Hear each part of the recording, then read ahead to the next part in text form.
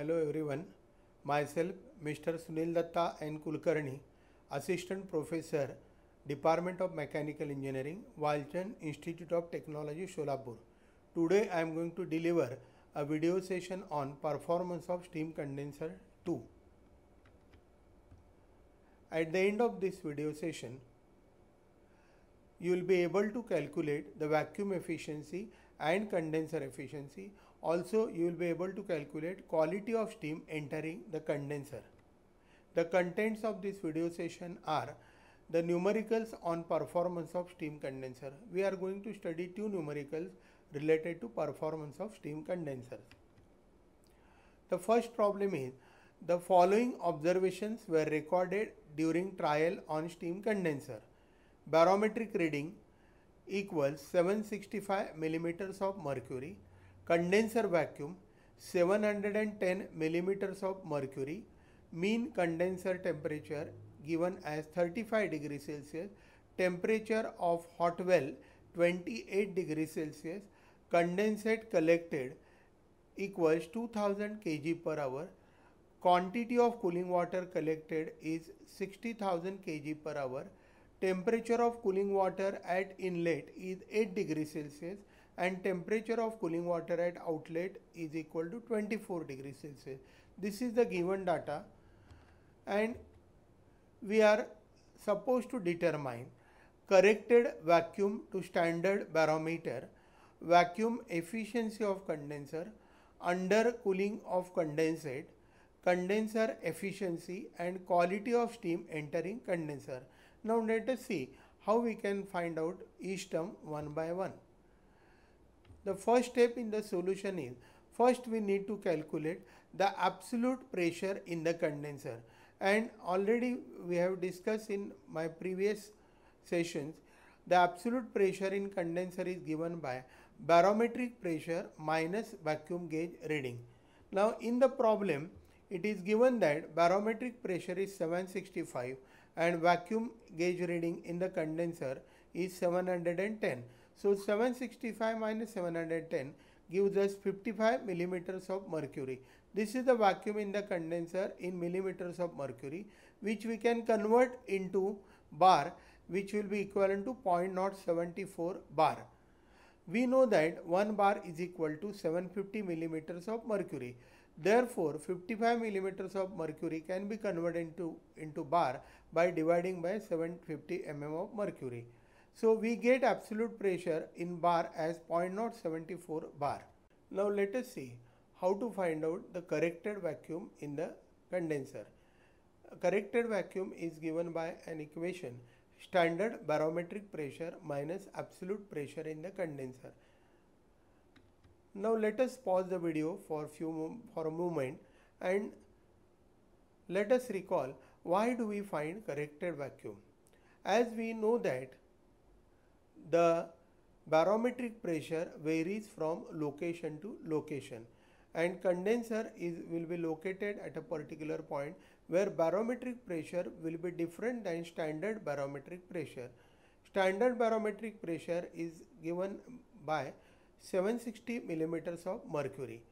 Hence, we can find the corrected vacuum by using standard barometric pressure as 760 millimeter of mercury minus absolute pressure in the condenser 55 millimeters of mercury which we have decided in our previous step and this will be obtained as 705 millimeters of mercury.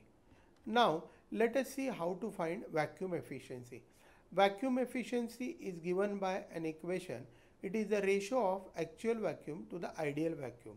Actual vacuum in the condenser is given by the relation barometric reading minus absolute pressure in the condenser.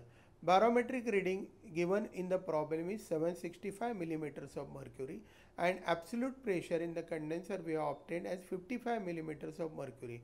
So difference of these two will give us the actual vacuum in the condenser equal to 710 millimeters of mercury. Now let us see how to find out the ideal vacuum. Ideal vacuum is nothing but the vacuum in the condenser when air is totally absent which is given by barometric reading minus saturation pressure of steam. Now barometric reading already we know that it is given as 765 millimeters of mercury whereas saturation pressure of steam is obtained from the steam table corresponding to mean condenser temperature of 35 degrees Celsius. So by using the temperature tables in the steam table, we get corresponding to 35 degrees Celsius absolute pressure of steam equal to 0.056 bar which we can convert into millimeters of mercury as we know that 750 millimeter of mercury equal to 1 bar. So 0.056 bar will be equal to 42 millimeters of mercury. Therefore, ideal vacuum is obtained by taking difference of barometric reading of 765 millimeters of mercury minus saturation pressure of steam corresponding to mean condenser temperature of 35 as 42 millimeter of mercury which is obtained as 723 millimeters of mercury. Therefore, using an equation for vacuum efficiency which is ratio of actual vacuum on ideal vacuum, we can put actual vacuum as 710 millimeters of mercury and ideal vacuum of 723 millimeter of mercury, we get it as 98.20 percentage. Now, we are going to find out the undercooling of condensate means when the condensate steam is cooled below mean condenser temperature it is called as undercooling now undercooling of condensate is given by the formula mean condenser temperature minus hot well temperature that is the temperature of condensate in the hot well which will be equal to 35 minus 28 equivalent to 7 degree Celsius. Now let us see how to find out condenser efficiency. Condenser efficiency is given by an equation rise in actual rise in temperature of cooling water divided by maximum possible rise in temperature of cooling water. Now actual rise in temperature of cooling water is given by TW2 minus TW1 which is nothing but the outlet cooling water temperature minus inlet cooling water temperature which is equivalent to 24 minus 8 divided by maximum possible rise in temperature of cooling water is given by the saturation temperature of steam corresponding to the absolute pressure in the condenser which is obtained as now we we can see here that the saturation temperature of the uh, steam corresponding to absolute pressure in the condenser of 0.074 bar is equivalent to 39.95 degrees Celsius. Therefore, the condenser efficiency will be 24 minus 8 which is nothing but the actual rise in temperature of cooling water divided by maximum possible rise in temperature of cooling water is given by saturation temperature 39.95 minus inlet cooling water temperature of 8.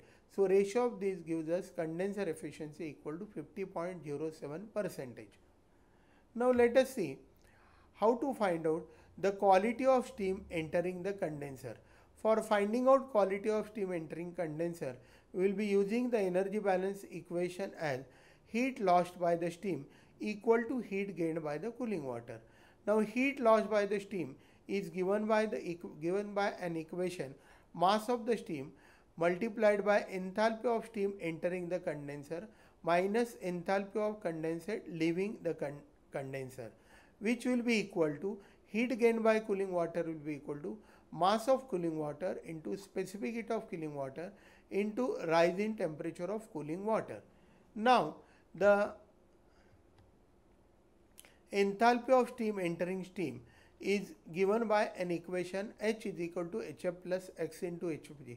Since the steam entering the condenser is wet, we have to use the equation for enthalpy of wet steam formula where HF and HFG are obtained from steam table corresponding to absolute pressure of steam in the condenser which is equal to 0.0704 bar.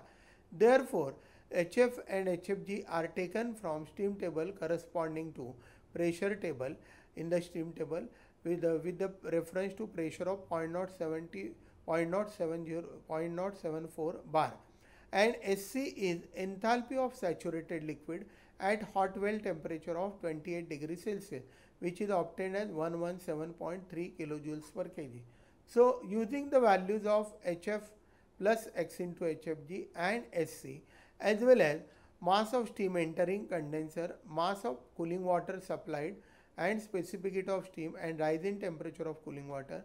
When we put these values, we can obtain by solving this equation the value of x that is nothing but the dryness fraction of steam entering the condenser which is obtained as x is equal to 0.819.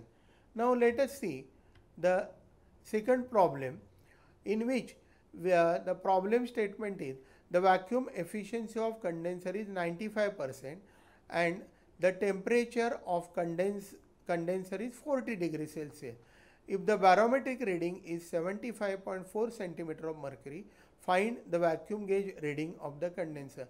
So here we are given with the vacuum efficiency, mean condenser temperature, barometric pressure and we are supposed to find out the vacuum gauge reading of the condenser that is vacuum in the condenser.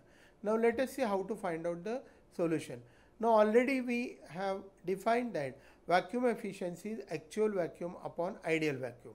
Actual vacuum we can denote it in terms of head of millimeters of mercury or centimeters of mercury as HV and ideal vacuum is nothing but barometric pressure barometric reading HB minus saturation pressure of the steam in terms of centimeters of mercury. Therefore, we can write this as the saturation pressure of steam corresponding to mean condenser temperature of 40 degrees Celsius is obtained from steam table corresponding to temperature table. At 40 degrees Celsius, we get saturation pressure as 0.0738 bar and converting this into centimeters of mercury as 5.535 centimeters of mercury.